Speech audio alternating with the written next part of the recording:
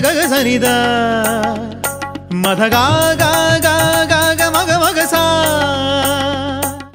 ತಿರುನಲ್ಲಾರ್ ಬಿಟ್ಟರೆ ಅದೇ ಮಾದರಿಯಲ್ಲಿ ಇತಿಹಾಸದಲ್ಲಿ ಸ್ಥಿರವಾಗಿರುವಂತೆ ಭವ್ಯ ದೇಗುಲವನ್ನು ರಾಜಣ್ಣನವರು ನಿರ್ಮಿಸಿ ಭಕ್ತರಿಗೆ ಸ್ವಾಮಿ ದಯ ಒದಗಿಸುವಲ್ಲಿ ಸಫಲರಾಗಿದ್ದಾರೆ. ಇಲ್ಲಿ ವಿಶೇಷ ಜಯಂತೋತ್ಸವ ಶ್ರಾವಣ ಶನಿವಾರ ಅನ್ನದಾನ, ತೆಪ್ಪೋತ್ಸವ ಕಾರ್ತೀಕ ಕೊನೆ ಸೋಮವಾರ, ಶನಿವಾರ ನಡೆಯುತ್ತದೆ. ಇಲ್ಲಿ ಸ್ವಾಮಿ ಪಶ್ಚಿಮ ದಿಕ್ಕಿನ ಬಾಗಿಲಲ್ಲಿ ನೆಲೆಸಿರುವುದು ಭಕ್ತರಿಗೆ ಶ್ರೇಯಸ್ಕರವಾಗಿದೆ.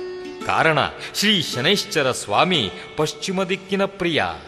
ಇಲ್ಲಿಯೂ ಸ್ವಾಮಿ ಭಕ್ತರ ಪಾಲಕನಾಗಿದ್ದಾನೆ. ಭಕ್ತರ ಬಾಂಧವನಾಗಿದ್ದಾನೆ. ಭಕ್ತಿಯಿಂದ ಬಂದ ಜನಕ್ಕೆ ಭಾಗ್ಯಪ್ರದನಾಗಿದ್ದಾನೆ. ಈಗ ನಾವು ಶನಿದೇವರ ಮತ್ತೊಂದು ಪುಣ್ಯಕ್ಷೇತ್ರದ ದರ್ಶನ ಭಾಗ್ಯ ಪಡೆಯುತ್ತಿದ್ದೇವೆ. ಇದು ಶ್ರೀ ಶನಿದೇವರು ಭಕ್ತನಿಗೆ ಒಲಿದು ಬಂದು ತೋಪಿನಲ್ಲಿ ನಿಂತ ತಾಣ. ಈ ಕ್ಷೇತ್ರ ದೊಡ್ಡಬಳ್ಳಾಪುರದಿಂದ ನೆಲಮಂಗಲಕ್ಕೆ ಹೋಗುವ ಮಾರ್ಗದಲ್ಲಿ ಸುಮಾರು ಹತ್ತು ಮೈಲಿ ದೂರದಲ್ಲಿದೆ. ಇದು ಪಡುವಣ ಅಂಚಿನ ಸುಂದರ ಗ್ರಾಮ. ಗಂಗ ಹನುಮಯ್ಯನೆಂಬ ಬಡ ರೈತ ಭಕ್ತನಿದ್ದ ಗ್ರಾಮ.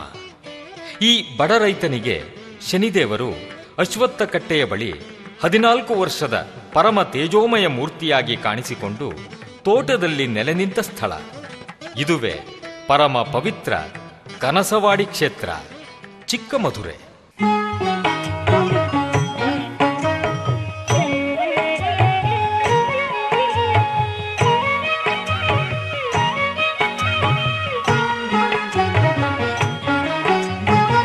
ನಿನ್ನ ಲೀಲೆಯ ಬಲ್ಲವರಿಲ್ಲ.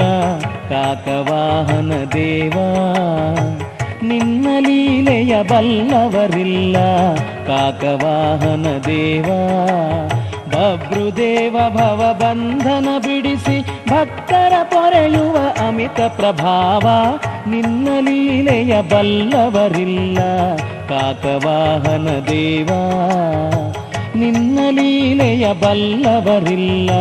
ಕಾಕವಾಹನ ದೇವಾ.